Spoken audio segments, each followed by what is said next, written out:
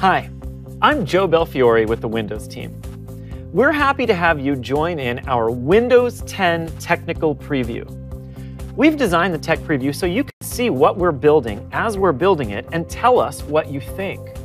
We hope to involve tech enthusiasts like you in our software development process over the next several months so that your feedback becomes part of the next version of Windows.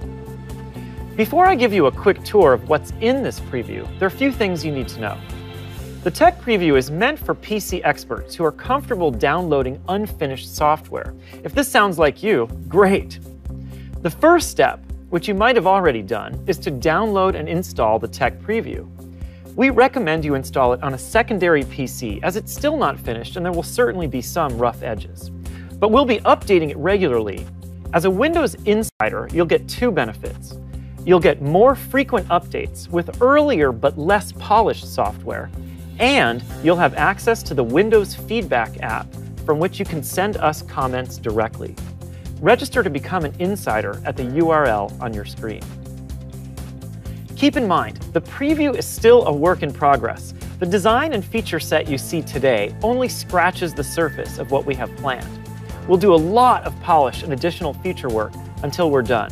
But one thing's for sure, by signing up, you'll be the first to take all of the new features out for a test drive.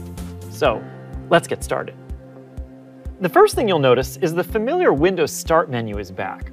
And we've tried hard to balance having a super familiar user experience with delivering terrific new improvements. In particular, including a space you can personalize with live tiles for your favorite apps, people, and websites. Search is back, and we've put it both in the Start menu and on the taskbar. So whenever you're looking for something, you'll get results from your PC, but also from the web. One of the biggest new features in Windows 8 was the Windows App Store. But when you ran an app, it was always full screen, optimized for a tablet-type device. With Tech Preview, we're improving how store apps work for all kinds of PCs, including ones with or without touch, and for big giant screens. Thus, apps from the Windows Store now open in the same format that your desktop programs do. You can resize them and move them around.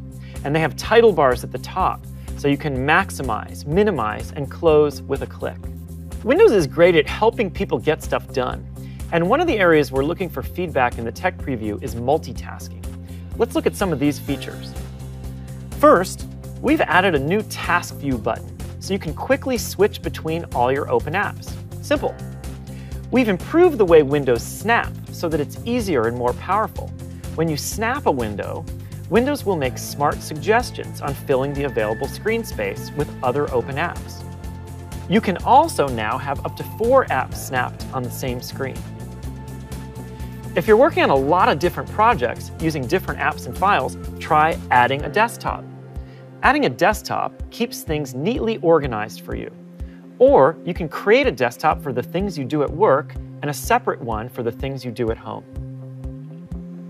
That's a super quick tour of Tech Preview and just the smallest glimpse of what's still to come. If you haven't already done so, you can download the Tech Preview and sign up for the Insider program at the URL on the screen. And if you want more details, check out the how-to section of our website. Thanks for being a part of the Windows community. We can't wait to hear what you think about the tech preview.